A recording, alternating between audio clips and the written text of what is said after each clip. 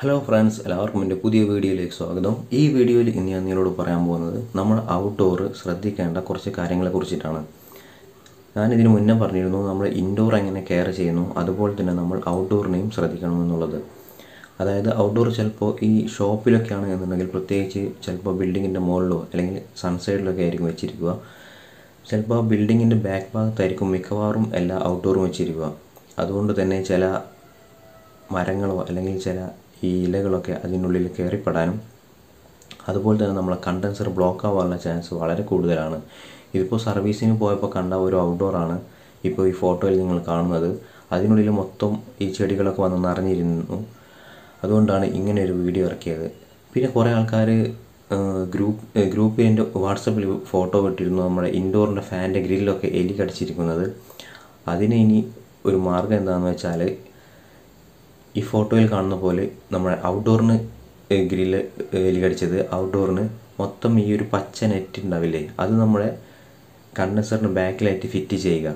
അത് മാത്രമേ പ്രതിവിധിയുള്ളൂ നമുക്കറിയാം. ഔട്ട്ഡോറിലേക്ക് എലി കടിച്ച സാധാരണ നോർമൽ എ സി ആകുമ്പോൾ നമുക്ക് പ്രശ്നമൊന്നും ഉണ്ടാവില്ല. എന്നാൽ അത് ഇൻവെർട്ടർ എ സിയിലാണ് എലി കടിച്ചെന്നുണ്ടെങ്കിൽ ഒരുപാട് പൈസ നമ്മളുടെ കയ്യിൽ നിന്ന് ചിലവായി പോകും.